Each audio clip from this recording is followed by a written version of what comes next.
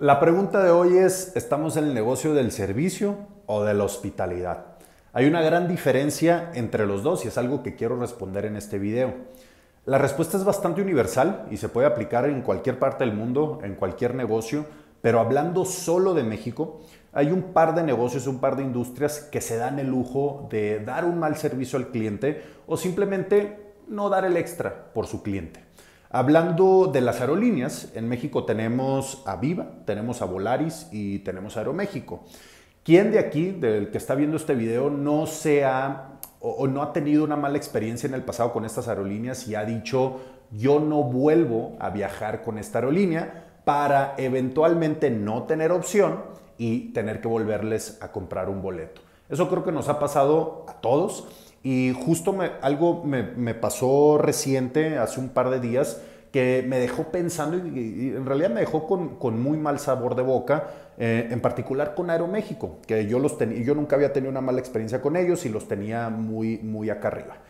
Resulta que me, tengo que reconocer cuando el cliente eh, es el que afecta el servicio, pero en este caso sí fue 100% culpa de Aeroméxico y me hicieron, me demoraron un vuelo y aparte me hicieron perderlo. Y cuando llego con, al departamento de ventas ahí en el aeropuerto para ver qué solución me daban, yo les pido, oye, amablemente, súbanme al siguiente vuelo. La verdad que me estuvieran ayudando bastante. No importa si me tengo que quedar el tiempo que conlleva de aquí al próximo vuelo. Y la respuesta fue, pues, una disculpa. Eh, el próximo vuelo cuesta 9 mil pesos y con mucho gusto te lo puedo vender y, y listo. Entonces, obviamente le pedí mi documentación, le dije, no, gracias. Terminé comprando otro vuelo con otra aerolínea que ya había tenido problemas en el pasado a una fracción del precio y me tuve que quedar un día más en la ciudad y bueno, X, terminé llegando a, a mi destino. ¿Y cuál fue mi reflexión?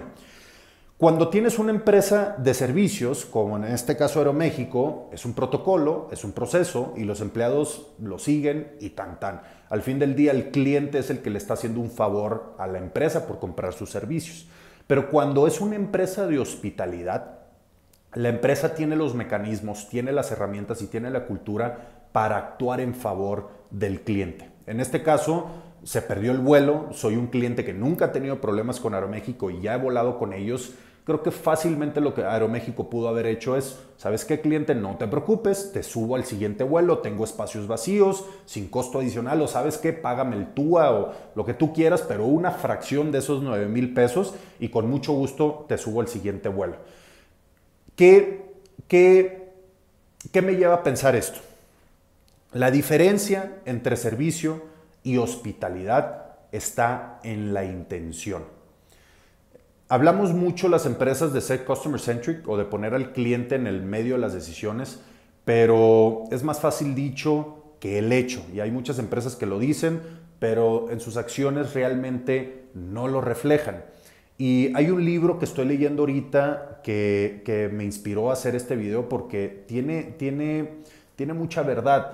Y hablando de hospitalidad, la hospitalidad nace a través de la cultura, no es algo que nomás se enseña y se pone un proceso, sino es algo que se respira, que se ve y que se vive todos los días a través de la cultura de la empresa.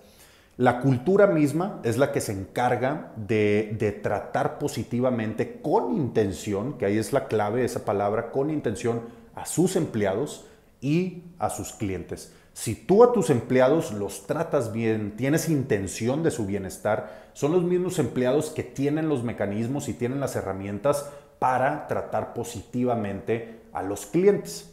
Y bueno, la pregunta, una de las preguntas que, me deja este libro que todavía estoy leyendo es, tú como negocio, tú como empresario, tú como empleado, ¿cuál es tu intención?